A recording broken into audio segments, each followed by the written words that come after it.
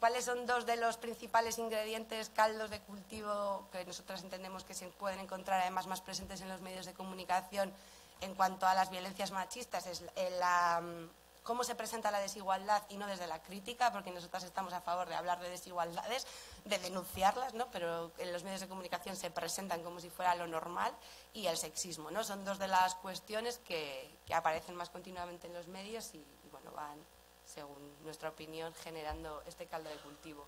Eh, el sexismo, yo creo que hablamos, una de las cosas que pasa en cuanto a la igualdad también, yo creo que hemos hablado mucho de ella y no sé si siempre desde el rigor, ¿no? Entonces nos encontramos con que todo el mundo conocemos ciertas palabras, pero igual a veces no, sabemos muy bien a qué nos referimos en cada caso, ¿no? Nosotras entendemos, o, o, se entiende desde el glosario de Pícara, que el sexismo es un mecanismo de discriminación y desigualdad que sufren las mujeres respecto a los hombres. Al revés no sería sexismo.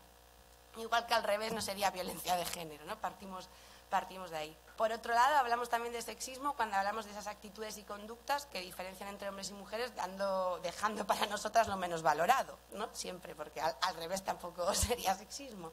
Las actitudes y las conductas que pretenden mantener en situación de inferioridad y subordinación a las mujeres, estamos diciendo prácticamente lo mismo todo el rato, y el sexismo es probablemente uno de los mecanismos de desigualdad más presentes en los medios, ¿no? Nos encontramos todo el rato con que cuentan las cosas de manera muy distinta y dan a esas cuestiones que tienen que ver con lo masculino en los medios siempre tienen una presencia y un reconocimiento eh, mucho mayor.